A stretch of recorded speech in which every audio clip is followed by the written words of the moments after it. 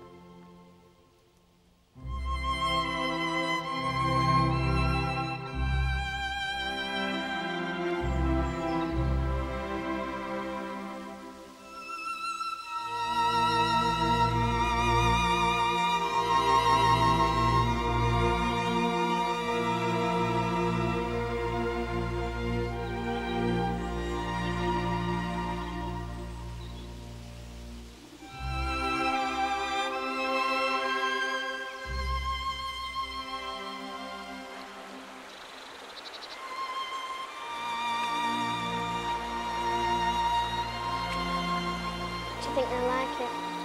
We'll soon find out. Come on.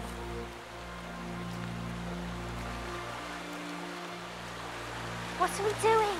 We're going to tell them.